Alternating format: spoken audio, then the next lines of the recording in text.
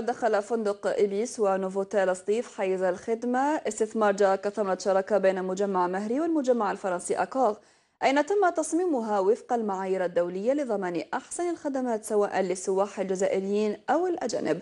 أحمد بطافي فصل في الموضوع.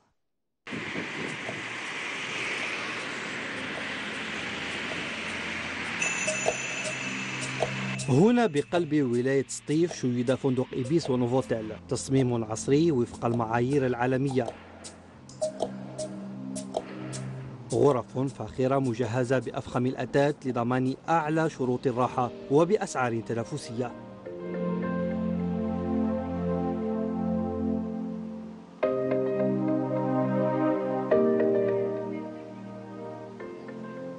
L'Ibis, c'est 120 chambres, un hôtel de 3 étoiles, et nous avons ici le Novotel dans lequel nous sommes actuellement avec 118 chambres.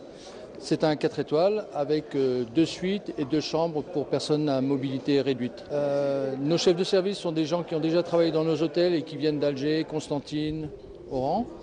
Voilà, et donc tous les autres qui sont arrivés à travers l'ANEM et les petites annonces que l'on a fait passer dans les journaux.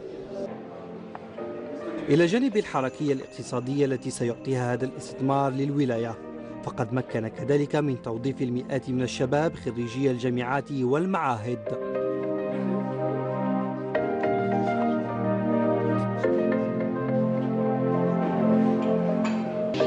هذا الاستثمار جاء كثمرة شراكة بين مجمع مهري وسلسلة فنادق أكور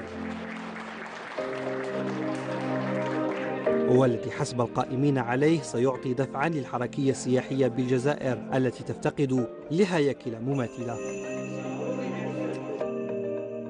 je crois, le septième établissement de notre association avec M. Méry, qui est un partenariat exemplaire, si vous voulez, basé sur le respect, la complémentarité des équipes. Bon, et nous sommes très très attachés bien sûr au développement du tourisme dans ce pays. هذا الإبيس هو عنده قيمته على كل حال. والقيمة هذه تجوز للمواطن والأجنبي. إحنا بالنسبة للأجنبيين إحنا ماذا بينا؟ إنه كان السلطات نتاعنا يسهلوا يسهلوا أولا في الفيزا يسهلوا في ال في ال في الشارتر في, في النقل. النقل الجوي. ومن المنتظر أن يدشن الوزير الأول عبد الملك سلال هذان الفندقان خلال الأيام القليلة المقبلة.